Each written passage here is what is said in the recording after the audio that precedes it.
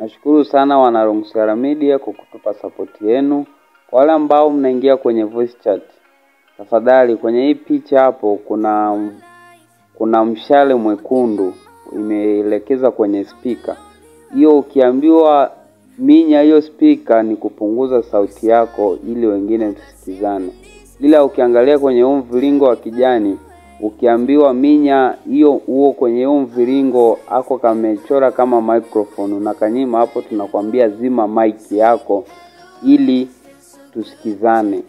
Hiyo inatusaidia kwa wale ambao waga tunajadili labda kitu fulani na tunaongea mmoja baada ya mwingine. Nashukuru sana, endelea kuwa nasi, na kama hujafika YouTube pale, fika pale YouTube Longsara Media, subscribe, like, share kwa watu kumi.